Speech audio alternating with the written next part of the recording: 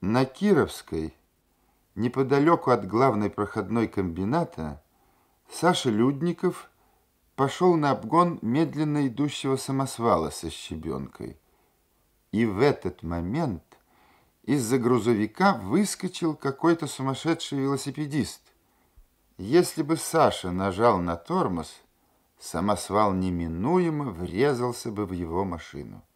Он повернул чуть вправо, увеличил скорость и, промчавшись мимо велосипедиста, уклонился от столкновения с грузовиком. Не растерялся и велосипедист. Бешено завертел педалями, свернул на обочину и, перелетев через руль, упал в канаву. Саша затормозил в безопасном месте, выскочил из машины и побежал к пострадавшему. К его радости тот поднялся, отряхнулся, шмыгнул разбитым носом и вдруг завопил. «Сашка, ты ли это?» «Я, Степа, здорово. Это ты, друг любезный, меня в канаву загнал. Хочешь отблагодарить? Не уйди я круто вправо, ты мог бы очутиться в яме размером в три аршина. Ты думаешь? Ну, спасибо. С приездом. Как оно там, на курорте? Там-то хорошо, а здесь я слышал плохо. Ты куда это мчался, как угорелый? Почему не на работе?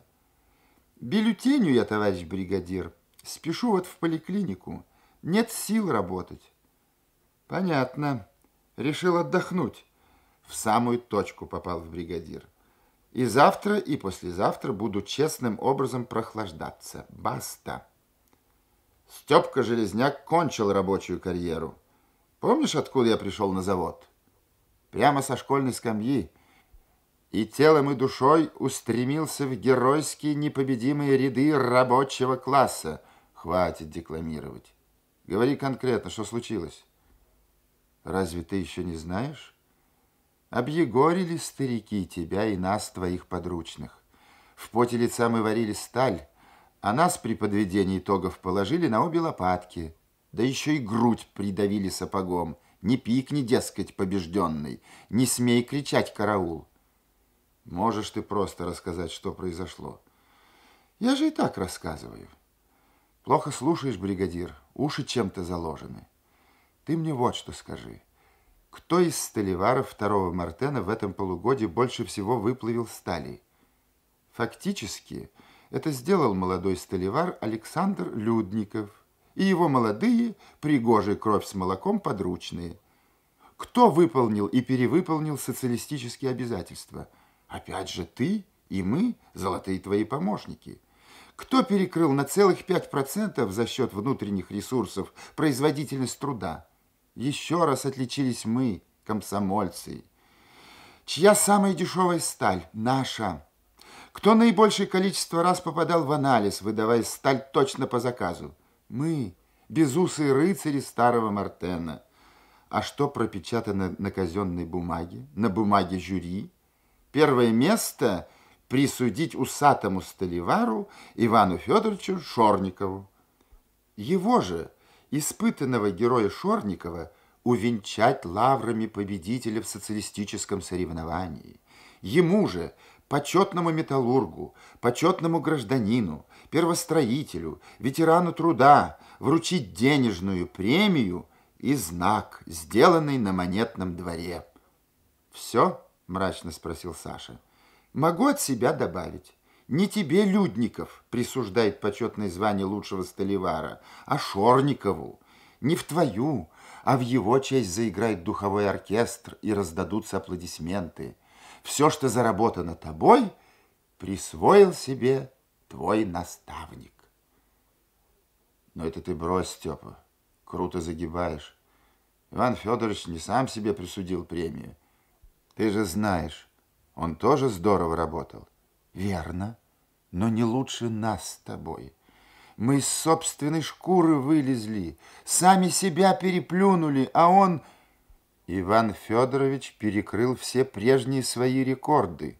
Верно, перекрыл. Свои. Но до людниковских не дотянулся. И это ему не понравилось. Грозно посмотрел на жюри и директивно внушил призвать молодых до ранних к порядку, Посадить, короче говоря, в лужу. Дурашливый Степа достиг того, к чему стремился. Растравил Сашу. «Поехали в цех», — скомандовал тот. Запихнули в машину помятый с вывернутым передним колесом велосипед и помчались к проходной. Начальник цеха стоял над пропастью литейного двора. Там на нижнем этаже Мартена шла привычная работа. Тепловоз передвигал по рельсам платформы с пустыми, готовыми принять сталь изложницами. Мостовой кран схватил за проушины ковш со сталью и понес к изложницам. Сталеразливщики открыли стопор, хлынула молочно-розоватая струя. Каменщики, уединившись в сторонке, споро и молча выкладывали огнеупорным кирпичом внутренности холодного ковша. Прямо под их мастерки – по толстой резиновой трубе под давлением поступала белесая, жидкая, как сметана, огнеупорная глина. «Правда, что Шорникову дали первое место?» – спросил Саша. Дымя трубкой, Полубояров кивнул. «Правда, что его показатели ниже показателей моей бригады?» «Не намного. Почему же все-таки он первый, а моя бригада на втором месте?» Как могло получиться такое, Николай Петрович? Как же вы, человек справедливый, честный, допустили несправедливость? Дело ведь не только в том, что это по нашей бригаде бьет. Бьет по завтрашнему дню цеха. Веру в соревнования подрывает. Обстоятельства могут быть сильнее меня, Александр. Не знаю таких обстоятельств, которые бывают сильнее людей, стоящих на принципиальных позициях. Пойми, Александр, я не твой противник. Жюри, присудившее первое место Шорникову, уверено, что поступило принципиально правильно. Где же принципиально, когда нарушен главный принцип нашей жизни, каждому по труду? В жюри практические люди, а не философы. Они по-житейски просто решили проблему. Людникову еще жить и жить, работать и работать, а Шорникову... В общем, я сначала был против того, чтобы Шорникову отдавать твое законное первое место. А потом навалились на меня со всех сторон, уговорили ознаменовать производственной победой юбилей старика, его выход на пенсию, и я сдался. Вернее, даже понял, что нельзя иначе. Действительно, у тебя все впереди, а у Ивана Федоровича все позади. Разговаривая, они перешли с тыловой, прохладной, тихой стороны печи на фасадную. В жару, шум, многолюдие, в ослепительный свет тысячеградусного пламени, выбивающегося через пять завалочных окон. Остановились на рабочей площадке. «Кто на вас навалился, Николай Петрович?» – спросил Саша. «Все понемногу. И больше всего вот этот». Полубояров указал глазами на круглолицего с румяными скулами, в пиджаке при галстуке, но в защитной каске человека, деловито суетящегося у соседней, второй печи, председателя правкома Тестова. Бешеную энергию развивает.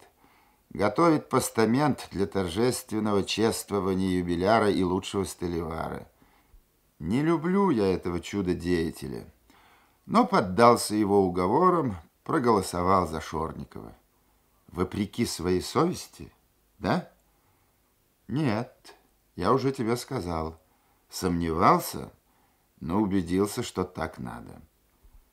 Вот в этом месте доверительного разговора Людников и обрадовал Полубоярова неожиданными словами.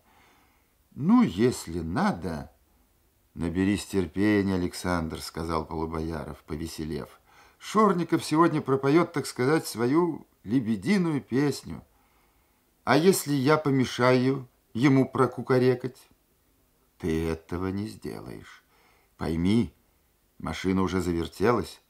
Не сдобровать тебе, если сунешь палку в маховое колесо. Ну, договорились?» Саша не ответил. Но Полубоярову достаточно было и этого. Он и не рассчитывал на полное понимание. Саша Людников направился на свое рабочее место. подошел к печи настолько близко, что спецовка окуталась прозрачной дымкой испарений. Скулы, губы, подбородок охватило нестерпимым жаром. Но Саша терпел. Ему хотелось физической болью заглушить душевную. На первой печи заливали жидкий чугун. На второй, Шорниковской, митинговали. В честь Ивана Федоровича. Саша внимательно следил за тем, как из 80-тонного ковша, косо приподнятого мостовым заливочным краном, равномерной струей лился в печь жидкий чугун, как он соединялся с расплавленным скрапом. И еще Саша изо всех сил старался не смотреть, что происходит на соседней Шорниковской печи, изнемогал в борьбе с самим собой и ничего не добился. Все видел, все слышал.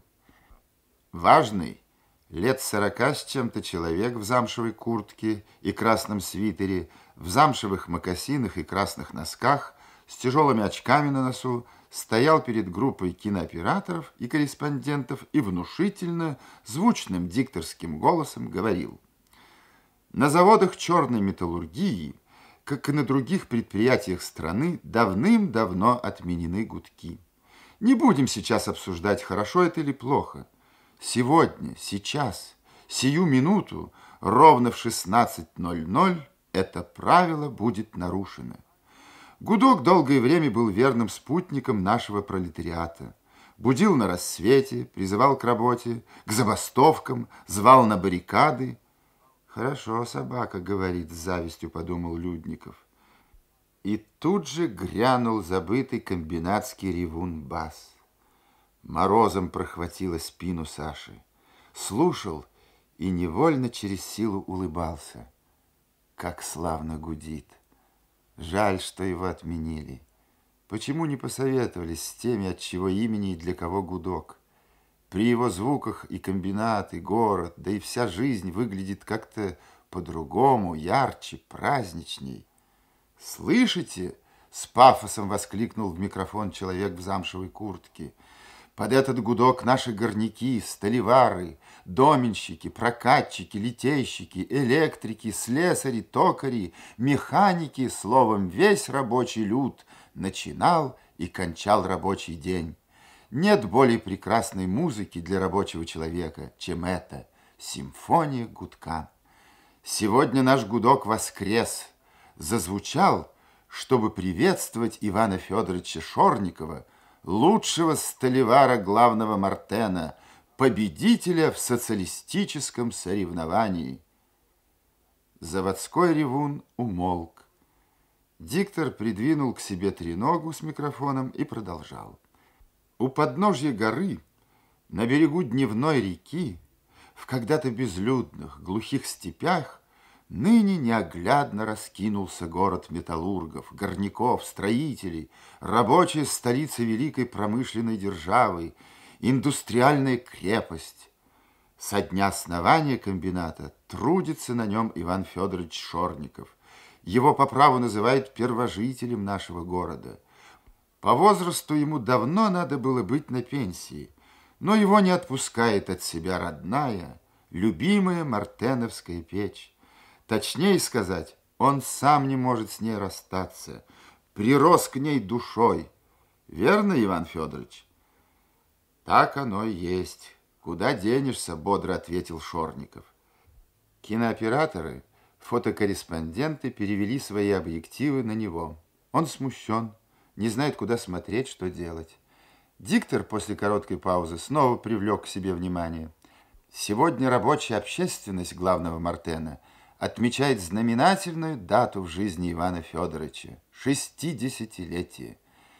День своего рождения мастер огненных дел отметил выдающимся производственным достижением. Сварил наибольшее по сравнению с другими столеварами количество стали. Победитель удостоен высокого звания «Лучший столевар главного Мартена» – Товарищи по работе поздравляют Ивана Федоровича с двойным праздником. Зазвонил колокол мостового крана. Тревожно-радостно сигналил электровоз. Белые полотнища пламени вырывались из печи через открытые окна. Завалочная машина лихо пронеслась по широкой колее слева направо, открыв для кинооператоров и будущих телезрителей группу рабочих, поздравляющих юбиляра. Несколько человек подхватили Шорникова на руки и со смехом, с недружными криками «Ура!» неловко подбросили кверху. Все это видел и слышал Саша Людников. Видел он и кое-что другое. Его дед, старший мастер Влас Кузьмич Людников, прислонившись спиной к железной колонне, издали невозмутимо наблюдал, как чествовали Шорникова.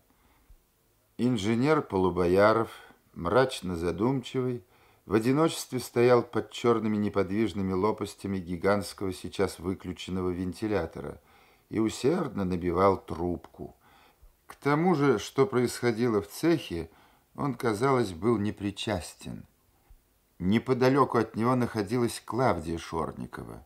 Она боялась, что отец, когда наступит его очередь ораторствовать, собьется. Командующий парадом Тестов беспокойно, хотя к этому не было никаких оснований, оглядывался по сторонам, все ли в порядке, не нарушается ли железный сценарий праздника. В поле его зрения попал Саша Людников.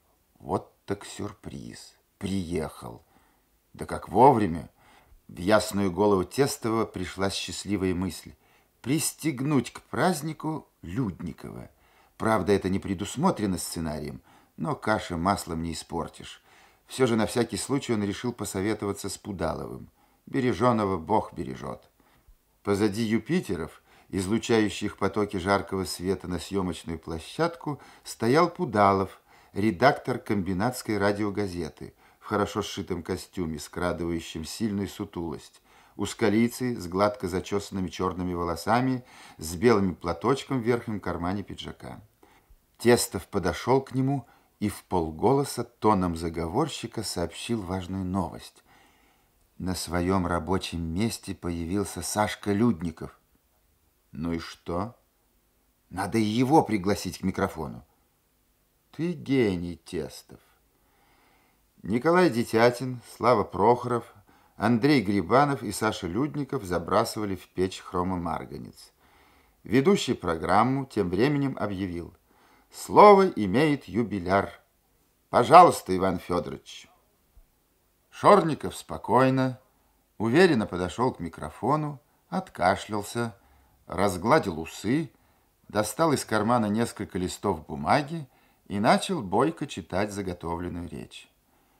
Друзья, от всей души благодарю за горячие поздравления, за сердечные приветствия и за добрые пожелания и даю вам слово, дорогие товарищи, что постараюсь исполнить ваш наказ. Жить долго и дальше работать по-коммунистически. Старый конь, как говорится, борозды не испортит. Оторвался от бумаги, заулыбался.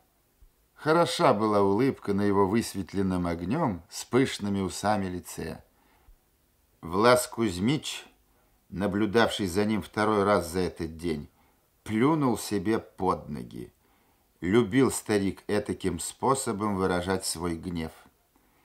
Спрятав под усами улыбку, Шорников продолжал. В первую пятилетку я прибыл сюда не в пассажирском поезде и не в самолете прилетел.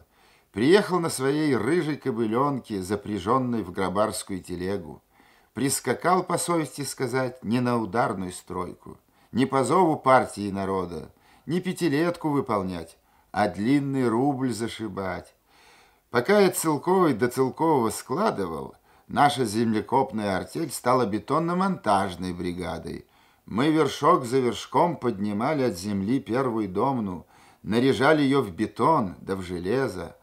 Росла домна, рос и я, бывший сезонник, бывший землекоп, бывший мужик-пахарь.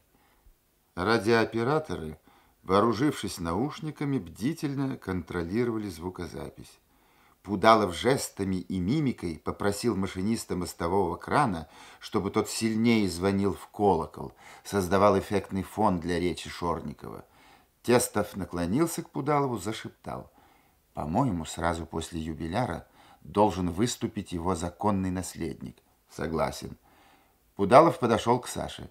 «С приездом, дорогой! Поздравь старика, ладно? Даю три минуты. Готовься, а я набросаю для тебя речугу».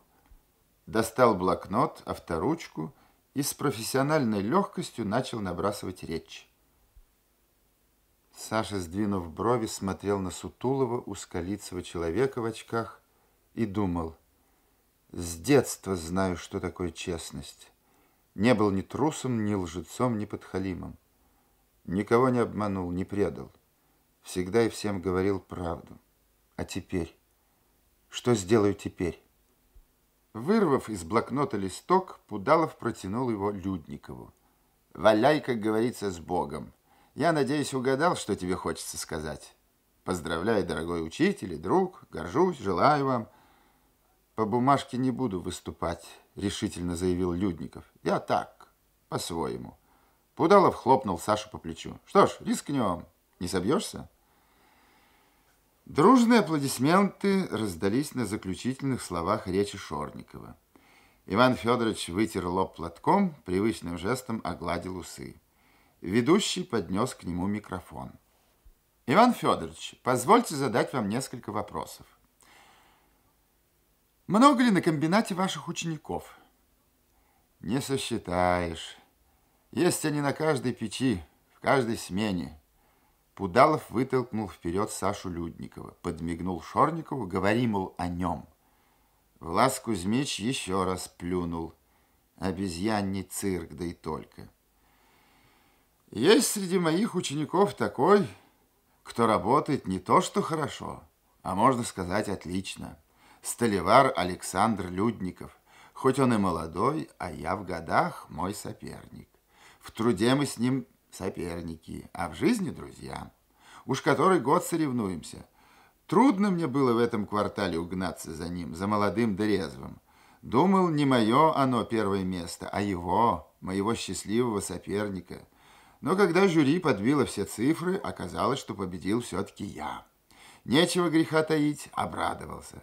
Потом, конечно, огорчился. За своего ученика и друга огорчился. Он себя самого превзошел. На какой-нибудь волосок не дотянулся до победной черты. Я прошу вас, дорогие товарищи, приветствовать от всей души Саню Людникова.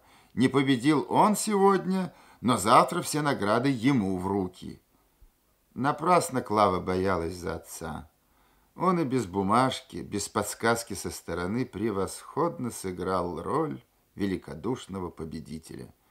Ведущий подошел к Саше и спросил, «Не желаете ли вы что-нибудь сказать по поводу юбилея вашего друга-соперника?» «Желаю». Саша взял микрофон. Начал спокойно.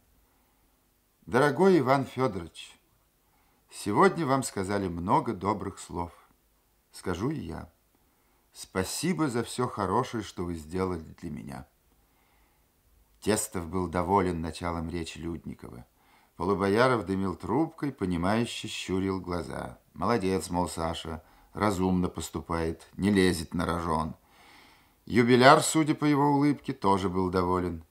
Влас Кузьмич с мрачным видом слушал внука обескуражены были мирным тоном своего бригадира и подручные Людниковы, Железняк, Детятин, Прохоров. Как бы размышляя вслух, Саша говорил, «Мы каждый день читаем в газетах и журналах счастье трудового человека. Какое же оно, это счастье, товарищи? В чем оно и откуда родом?